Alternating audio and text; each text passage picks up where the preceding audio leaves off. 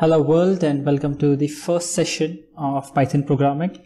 So this video series is Python for everyone who wants to learn Python programming from scratch. And let me just tell you first a few things about Python. It's very easy to understand. It has a very simple set direct coding, no need of any declarations and it's has tons and tons more of uh, good things in it.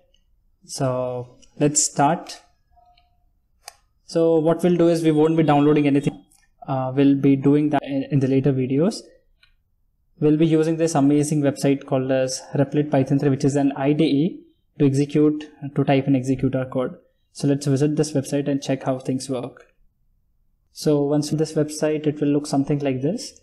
Uh, this section over here is for all our files and folders. We won't be using this for now. So I can just uh, swipe it to the left uh, this section over here is to type a code and if I click on the play button over here it will display our output.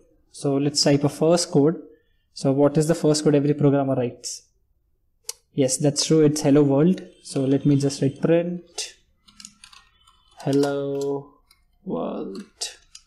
Okay great. So no need of any semicolons no brace brackets no class no main no void nothing. So that's a first code only one line of code and we can just do run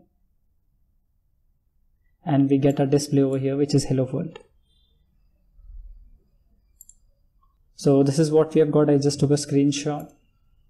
And so print is a function. So over here this is the function or a block of code which is written by someone. Now each function will have a round bracket around it. You can see over here these are called as parentheses. And whatever is inside these is called as parameters or arguments We'll be seeing this later on when we make our own custom functions in the upcoming videos. For now, you just have to understand that print takes something inside it which will be displayed over here, right? So we'll see some more examples. So next I can write my name, which is Gaurav. Hello world, I am Gaurav over here. And I can just play this button and it will show Gaurav over here, right?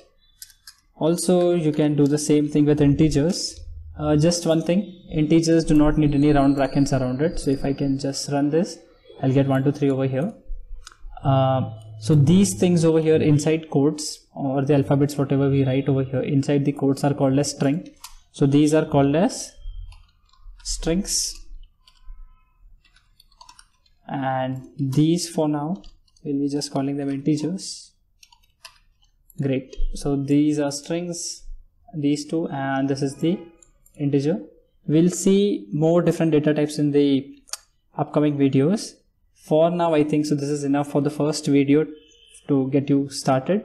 If you have any doubts or any queries you can just comment down in the comment section below. You can also share your code if you get some errors using this share link button over here. If you click on this you can have an url over here and you can share that in the comment section. Uh, uh, that's it for this video. Like share and subscribe to our channel See you in the next one.